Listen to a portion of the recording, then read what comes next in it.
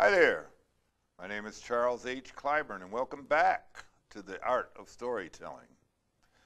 We're very privileged today to have two members of the Kwanzaa Celebration Committee from Allen Chapel AME Church who are going to talk to us about the Kwanzaa celebration that they are having next Monday, January 26th, which is the first day of Kwanzaa. But I don't want to tell you all about that because they know more about it than I do. So let me introduce you to Ms. Karen Giles, who is the chairperson of the Kwanzaa Committee, and also Ms. Betta C. I'm sorry, Betta C. Katiti, who is a member of the committee also. And both of you are members of Allen Chapel, is that correct? Correct. Right. Yes. Okay, very good. So let's start off uh, uh, because the audience may not understand or know about Kwanzaa. So, um, let's start with you. Can you talk to us a little bit about Kwanzaa and how it got started and all that? Kwanzaa, as from what I've learned since I've uh, been living in the United States, yes. Kwanzaa is an, an occasion for African Americans to celebrate the first fruits. Yes. Kwanzaa is not celebrated in Africa. So my, what I know about Kwanzaa, I learned in the United States. Yes. And it, I think it's important for us to understand that it is an African American uh, celebration. Correct. Is that correct, Karen? Correct. Mm -hmm. Yes. Okay. So uh, when is this uh, celebration uh, uh, celebrated? When, what's, is there a time period? Is there a day? Or can you tell me about that? Yes, there is. Um, Kwanzaa, the first day of Kwanzaa is December 26th. Yes. And it goes through January 1st. So there are seven days that are celebrated in Kwanzaa. Okay, okay. Now, I understand that Kwanzaa was initially uh, spelled K W A N Z A but uh, recently there was a third, uh, a second A added to it. Uh, do you know what, what the reason for that was? No, I don't know the reason. okay, I my understanding was that it, the A was added because it was seven letters, which which would uh, uh, coincide with the seven days of celebration. Um, and it was started back oh over 25 years ago by a gentleman uh, whose name is Dr. Ron Karenga yes. in uh, at California State University. Yes. Okay. And uh, do you know the reason why Dr. Karenga wanted to wanted to start this kind of celebration? Dr. Karenga wanted to start the celebration um, so that African Americans would feel um, united as African Americans, so they would have a, a time of celebration where the families would get together and that we could discuss um, what were called the principle of blackness um, in, the, in the beginning. Mm-hmm. Okay. And that would be the seven principles of Kwanzaa. All right. So it's basically sort of a, a reinforcing of a cultural pride. Would, would you say that would be an apt description of it? Definitely, because the seven principles are broken down so that that um, it explains and it kind of reinforces it reinforces our unity. It also reinforces or give the children a chance or a, a, vehicle to learn um, what what it is, how to be responsible, and just mm -hmm. to just to help the culture. Now, uh, um, you're a native Ugandan, is that correct? Yes, I am. Okay, and very proud of it, I'm sure. Extremely proud. Ugandan okay. queen. ah, a queen. All yes, right. Well, we're, you're amongst royalty today. Very good. Now, is, is something like this uh, celebration of the harvest to happen in Uganda? The harvest in Uganda, from what I remember growing up in Uganda, there are certain foods that are celebrated at the time of harvest. And the one that comes to mind is millet. Millet. Mi millet is a grain, kind of like, if you can think of wheat, millet is even like finer, it's a smaller grain. And uh, it's, it, I don't know if I can, it's, uh, I, I, don't know if I can refer to it as a fruit, but it's harvested once a year. Mm -hmm. It's a grain, it's not a fruit, it's a grain. It's harvested once a year. And what I remember growing up, the women who are always in charge of making food in most African societies, they would like really be very excited at the time of harvest. Uh, when millet is brought from the field, you have like these bushels of millet, and uh, they have to kind of uh, uh, get get the millet out of the bushels, and fi- so there is like a whole process that event that finally ends up with actually cooking the millet and have and serving the millet. So from the, the excitement kind of builds up as they're bringing millet from the fields and it's all bushels and they have to kind of like uh, get the grains out and dry the grains until they're very dry. And then when they're dry they grind them. So you, you end up with like a millet flour. And then you cook the flour and, the, and eventually you have the millets the mi- millet as a food that you can eat. And i remember there was always a whole lot of excitement about that and uh, when you sat down to eat the millet that uh, it's when it's finally ready there'd be so much excitement. And for some reason when it's very fresh the color of the millet is like a lighter color. As it stays longer it's darker. So when they first uh, like the very first time you eat that millet or the first few weeks it's very light in color. Yes. eventually it's kind of like purplish or plummish uh, that very f- like first time that you eat this fresh millet, the one that's just been harvested, I remember there'd be excitement. People would throw it on the walls. There was that excitement growing up. I remember that. Okay. And I think maybe that's when uh, Dr. Karenga thought about that, was the celebration of, of the harvest.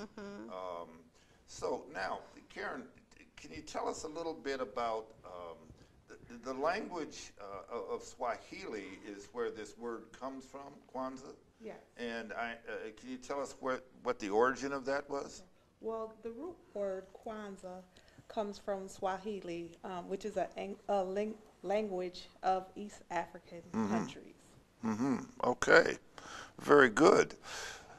And so now let, let's talk a little bit about uh, what happens during this celebration. Okay. Um, can you tell us about uh, how th- this celebration takes place? Uh, you said seven days. Yes. And it starts when? It starts the 26th. The 26th of, Of December. December, yes. Okay. Which brings to mind, I think i- a lot of people, um, uh, even even African Americans, don't quite understand the essence of, of uh, Kwanzaa. I have heard, for instance, that Kwanzaa is called the Black Christmas, that it is celebrated in lieu of Christmas. No, it's definitely not to replace Christmas. Kwanzaa is more of a, a celebration for African Americans that, that's cultural more so than religious. I So see. Kwanzaa is not to um, be mistaken as um, a replacement for Christmas or any other holidays. All right, all right, very good. Well, I'm glad that you uh, uh, cleared that up because I know that some people uh, have that thought that uh, it's the Black Christmas and that's what we celebrate and so forth. So I'm glad you you cleared that up. So let's talk a little bit about what happens during a Kwanzaa celebration and what, in fact, will happen at Allen Chapel AME Church. And, and when is that going to be again? Um, the Allen Chapel Kwanzaa celebration takes place Monday, December 26th. Yes. And we're starting with light refreshments at 1 o'clock, and our program will begin at 2 o'clock. I see. Okay, and we'll we'll have the uh, the flyer up so people will know the address and and for those down. Now, is this just for Allen Chapel members? Oh, definitely not. Allen mm-hmm. Chapel is big on community, so everyone is invited to attend. Okay, all right, and we'll give you a chance to get that address, and we'll we'll give you the time again if you're interested in attending that. Okay, so tell us a little bit about what is going to happen on January 26th. Uh, I'm sorry, December 26th uh, at, at Allen Chapel AME Church. Okay. Well, like I said, um, we'll start out with light refreshments at one o'clock, and then our program begins at two p.m. And um, when you come into Allen Chapel, into the sanctuary, you'll find that um, you, the church will be decorated with African cloth. You'll see um, at the front of the church, you'll see the kinara and the with the candles Excuse me, I'm sorry. Kinara? Kinara. What, what, what exactly is, is a Kinara? For those of us who don't understand that. Oh, okay. Yes. The Kinara Yes. is, um, it holds the, the candle, the seven candles. You have one black candle, Yes. which um, represents the black people. Yes. You have three green candles that represents the land, and the three red candle represents the blood that was shed. Oh, well, it's okay. Yes. Um, So we'll have, we'll have the front decorated with the kinara and cloth and fruit, um, just to, um, for the representation of the first fruits or for the harvest. Okay, all right. And then uh, walk us, uh, what kind of activities will, will happen during the celebration? We'll have African drumming, we'll have dancing, um, we'll have a couple soloists, we'll, there'll be storytelling. Um, let's see, we'll also have, um, a game for the children. Okay, Mhm. We'll, we also have a piece, the piece that uh, we gave the, um, the name, um, It Takes a Village. That's, that's sort of the theme for our Kwa- Kwanzaa celebration this year. okay, And so we'll have a piece called It Takes a Village. all right. Now that's, is that after the phrase, it takes a village to raise a Oh, child? most definitely. Okay, all right, all right. I think most people are familiar with that phrase. Uh, uh, let's, let us ask Miss uh, uh, Queen uh, Katiti over here. That, is that is that a familiar term in, in, in your country, in Uganda? It takes a village to Oh, raise a child? Oh, oh yes, uh, it's it's not that we would use that exact phrase, but Yes. the concept of it takes a village to raise a child is very much a part of the African culture. You know, growing up, ev- just about every mother in the village was your mom. Every adult was uncle or auntie.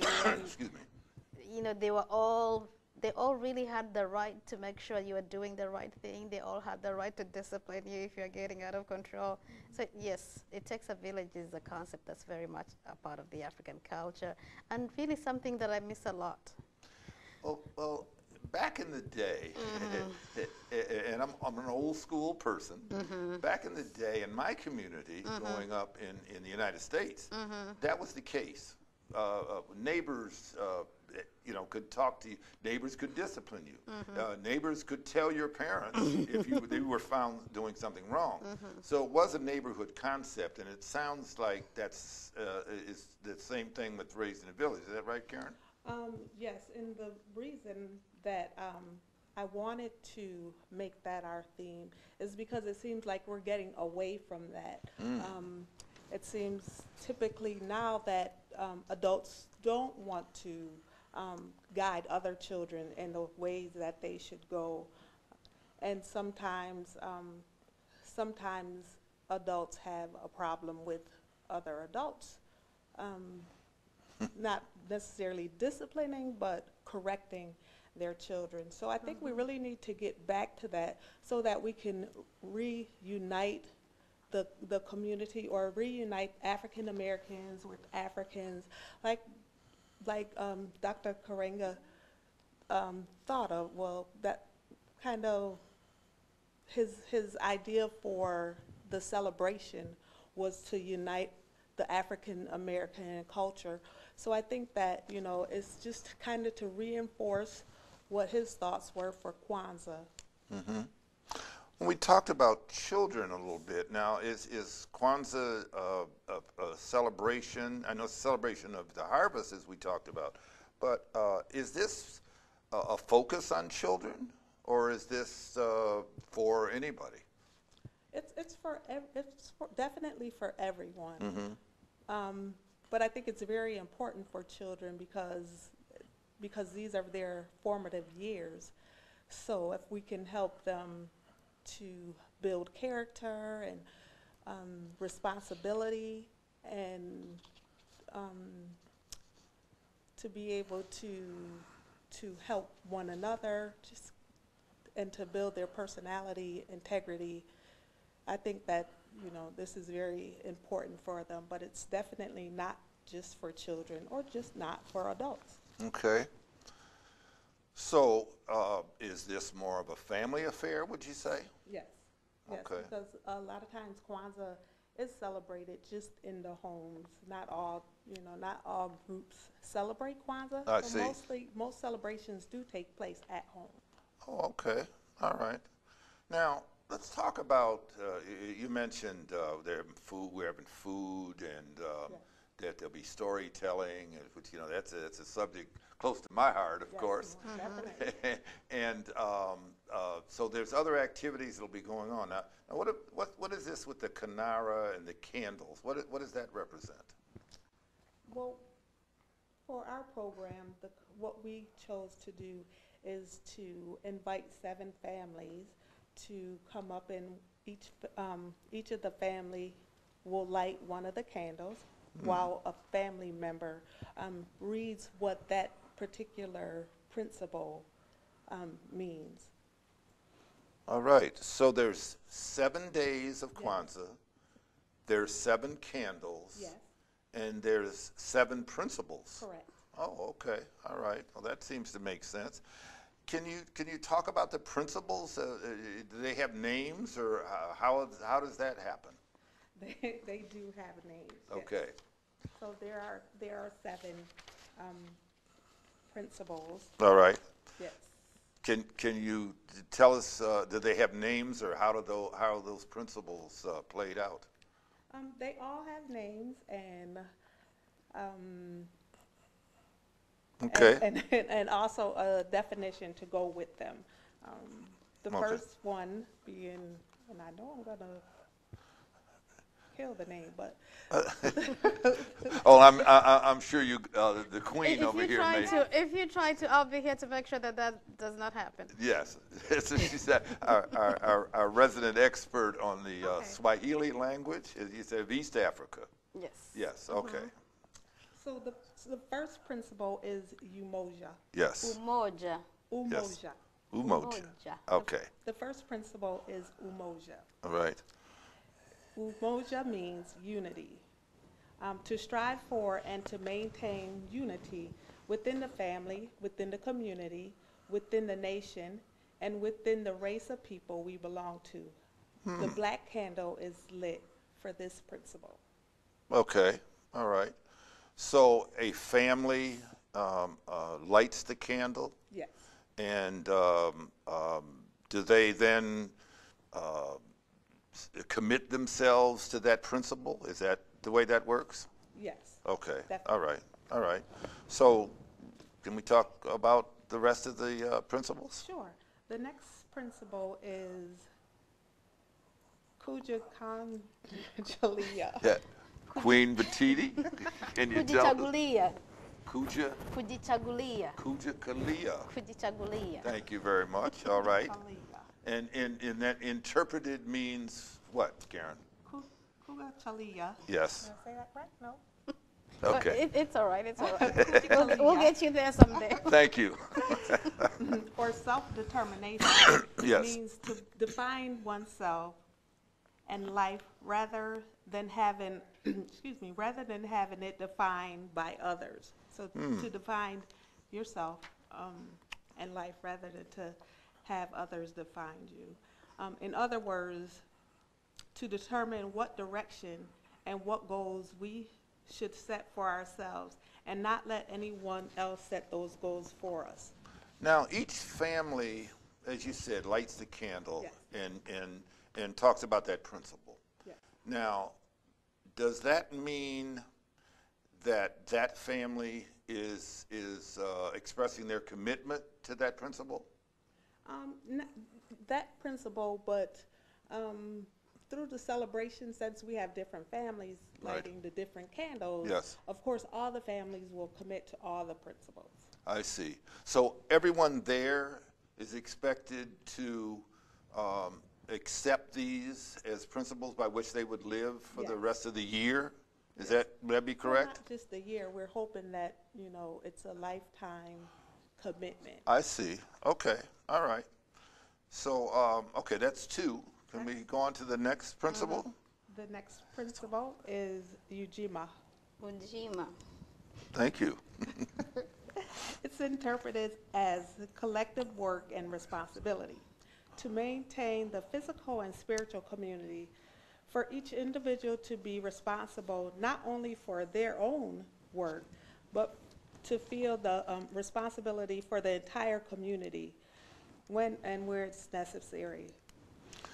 So, so that's sort of uh, everybody's responsible for everybody else, Yes. and that everybody's working toward a common goal. Is that that that sort of sum it up, or put it in different terms? Um, yes, we could be working, some people work towards a common goal, but you also have to um, remember that some other people may have different goals. So Yes. you should also help them towards their individual goals as well. So, That, that sounds like a principle on which we all should live. I think Uh, you know, if we, I think that uh, if if we all help each other, then uh, I think we'd be a, a better world. Is that? Yeah. Oh, yes. Would you agree with that, Queen yes. uh, Katiti? Oh, yes. All right. Oh. Okay. All right. So we've covered uh, three. So uh, what what what is next? The next one, I'll let uh, Queen Katiti enunciate that for me. Ujamaa. Ujama, Ujamaa. Mm-hmm. Yes. um, in, interpreted to mean corrective, excuse me, cooperative economics. It is the fourth principle, which means we should maintain and profit from our own businesses. We should support businesses in our own community which cater to our needs and to our and are dedicated to this principle. Now, I, I understand, I think, and maybe, maybe correct me if I'm wrong, but what that means is that uh, we support, as African Americans, support the businesses in our own communities. Now, this is not to the exclusion of any other businesses, right? Okay. No, um, and I could elaborate on that um, personally because um, I would, in the past, I would go to a, a barber shop um, where the owners were Korean, I believe, or of uh, Asian descent. Um, and recently, uh, um, an African barber shop opened up um, about a mile away. So I chose to um, to try to try out this barber shop, and I really liked it. So I think that um, to show their to show my my support Yes. for their business, then I'll continue to go to that that barber shop. I see. Okay. Well, that makes sense. Yeah, sense. that's good. Sure. Okay. Uh, next is. Next is Nia. Mm-hmm. Nia, Nia or purpose is defined as restoring our people to their traditional greatness in this world, to maintain the rich cultural background of our ancestors, and to recognize the many accomplishments of our people in the field of music, science, and industry. Hmm. Notwithstanding the vast number of inventions we have contribute to the health and welfare of all people, Okay, well, that sounds very good. And so, um, so we need to recognize African Americans' contributions to the world. Yes. Okay, all right. Um, does that sound like something that happens in Uganda, Queen Queen Katiti? No, say that again. I kind of missed that. The the the. Uh, I'm sorry, uh, Karen. Could you? Um, just restoring our people to their cultural greatness, um, because because Africans and African Americans have uh, contributed to the world, um, to the state, and to to our country. We have contributed a lot, and sometimes it's not. Sometimes it's not. It doesn't get the notoriety that it should. So as far as um, not only in the music or science industry, but also in the health and wellness um, fields as well. Oh yes, I I, real, I definitely agree with that. Uh, it's also important to let our young people, when they're growing up, that these are pe- these are children that come from a great inheritance. Yes. Uh, and uh, a lot of times it's really disappointing when you see young people, especially when they get to like the, the teenage years, start to act in ways that are really are not very becoming of people that are come from you know great ancestry. So hopefully through programs like this, we will be you know reinforcing that to our children and letting Okay. them know that. And additionally, we all know that um, not all of our, not all of our um, attributes are displayed in history books. So we always have to, you know, teach our children, you know, where they came from and our greatness, because sometimes, um, otherwise they won't get that education. Oh, Yes, yes. yes, yes. Well, that's, that, that seems to be true. I, c- I can recall when I was growing up in a, uh, going to a Catholic high school and uh, not knowing a lot about the, the uh, cultural aspects of my race and not hearing about them because, uh, again, the historians uh, either uh, lost it or just didn't pay attention to it or whatever for whatever reason uh, there were things that I didn't I didn't know about and didn't learn about. Uh, okay so that's number five is that That's it? number five, okay so we have two more. Can you talk to us about those? Um, the sixth principle would be Kumba, Kuumba. Kuumba. keep us straight Queen Katiti. Kuumba or creativity. It is to continue to find ways to add beauty and richness to the community, whether there be, be, whether that be by the way of the creation of murals on the wall, like the one on, the one on this wall. Okay. Yes, we will. All right. Well, yeah, yeah, I, I'm, I'm sure you've seen uh, walls where there are murals um, of depicting um, uh, African Americans uh, of great stature, or, Yes. or yes. Okay. Um, supporting the community centers or establishing a cultural arts center uh, for theater, dance, and other expression of art forms. Now, when you say adding richness to the community, uh, what community are we basically talking about? We're talking about the African American community, Okay. not just in Montgomery County or Prince George's County, but to come together collectively in, you know, in our own communities. And again, we want to be sure that uh, our audience understands that this is not to the exclusion of any other race. No, definitely. Okay. Definitely. All right. So it, it's it's really to to raise the awareness level of African Americans, uh, to celebrate the richness of our contributions, as you say, to our state, to our county, to our Right. communities, Right. uh, but also to make uh, other people understand and to know Yes. the richness of that tradition. Is Yes. that would you say that's correct, uh, Yes. Queen Katiti? Yes, I would agree. And I know that uh, one of the the most, I think the maybe one of the be- maybe not the best, but the better ones, the murals that I've seen since I moved to this area. If you're on the metro, the U Street Station, they have some beautiful murals of musicians. In DC? In DC, the U Street Station. Just being there, you get a sense of culture, of uh, pride in our music, whether it's jazz, whether it's African. You just get it, it's really well done, and uh, more and more of that would really help to reinforce the idea to, uh, especially to our young people, that uh, we are proud of our culture and we're going to promote it in whatever way we can. All right. Okay, so we have we have one more uh, principle. We have one more Okay. principle, and that's Imani. Mm-hmm. is described as faith, having faith in our community, leadership, and neighbors, and ourselves, that we have the power and the wherewithal to maintain the right righteousness of the work to build our community. Okay. All right.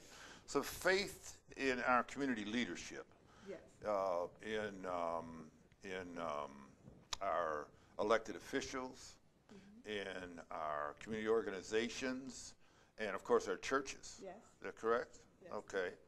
And so faith, uh, not necessarily being a religious aspect, but just faith in ourselves and faith in our in the uh, people that are established in our community to be accepted leaders. Yes. Is that correct? Okay. And of course, the, the president, the, the current presiding president of the United States is certainly an example of that. Yes, he is. Okay. So now, from what I, I'm hearing from you and what I want, I, I, I think, you, I think what I would like for you to leave our audience with is that this is an African American holiday, but we are not only, we're willing to share that. Is that correct? We're willing to share that with other cultures? That this is, again, I want to use the word exclusion. Mm-hmm. We want to make sure that that is not the case. No, it's definitely not a exclusion of any other race or culture, because I, I believe that if we share and teach others our culture and actually learn their culture, we'll, we'll get along um, better, we'll be more um, comfortable with each other in, in our shared neighborhoods. Um, this, the metropolitan area is a melting pot. Yes. And so if, if we can learn from other people, we can teach others our culture, then we'll get along better. We'll, you know, understand each other's needs. So, the, the, the celebration of Kwanzaa, again, if we can sum this up, is to educate African Americans about their, tr- the rich traditions. Uh, a lot of that came from African countries. Um, the pride in ourselves and the accomplishments that we have established, a- again, in this country, and also to share that culture and that rich tradition with other people. Is that, would that be correct? Yeah, but also we need to, a, a part of why we go to great lengths to celebrate Kwanzaa is Yes. to try and continue to encourage our people, especially our children, Yes. to follow these principles. You know, uh, know what know what they are about in life, what direction they're going to take in life, how they can learn to live together with other people, respect each other, have faith in the, the in themselves, in the community.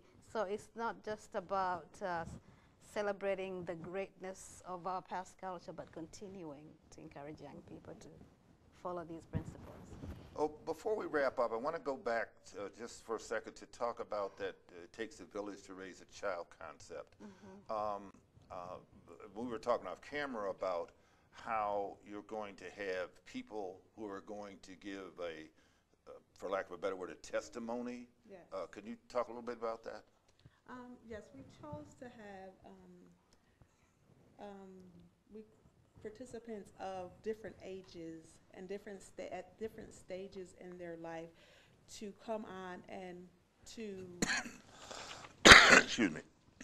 to ex, to explain or share with us some of the people that were instrumental in developing their characters.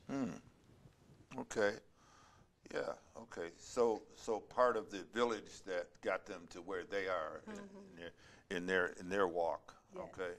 Yeah, I think that's, that's, that's very good. And you're gonna, we're gonna have singing, and we're gonna have dancing, and, and storytelling, and, and drumming, and it's, it, it sounds fantastic, uh, and I, I can't wait to be there. Um, and we're going to have a, a, a, a, on camera. We're going to show you all the particulars. But just one more time, tell us when, where, and how someone can get there. Okay, so the, um, the Allen Chapel Kwanzaa celebration will take place Monday, December twenty-sixth. Refreshment starts at one o'clock. Our program begins at two o'clock, and like, um, was said previously, we'll have music, dancing, singing, and storytelling. Um, it's going to take place at Allen Chapel AME Church, which is located at 2518 Fairland Road in Silver Spring, Maryland. Our zip code is 20904. And for additional information, you could call 301 728 5614. Okay. Well, that's very good. I think that, uh, uh, and as I say, we'll have all the information up uh, for the community to know about, and uh, you have the phone number to call. Uh, I'd like to personally thank you very much, both of you, for coming on the program today. uh, Queen Katiti. We're very glad to have you. You Thank are you. our technical uh, and language expert. Uh, it keeps us honest uh, because sometimes we, as African Americans, um, uh, take for granted that we know about our history, and sometimes we don't, particularly in the pronunciation of words. So we thank you for, for being here. And Karen Giles, the chairperson of the Kwanzaa Committee at Allen Chapel, we thank you very much for coming on the show today. And we know that uh, uh, we're looking forward to seeing this program, and we know that um, uh, it's going to be great. And we hope that all of you will come Monday, January 26th, at 1 o'clock if you want to eat, and 2 o'clock for the program.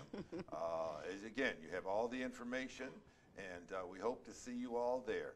Thank you very much for coming on our program, and that is the art of storytelling for this week. Thanks for watching.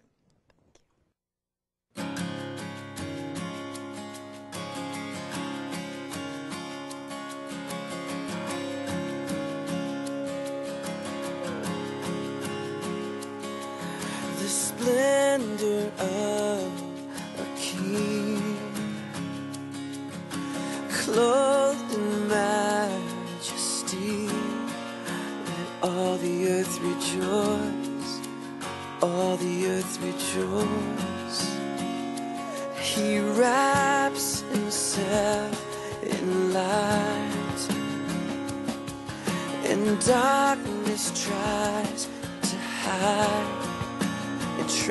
at his voice, trembles at his voice.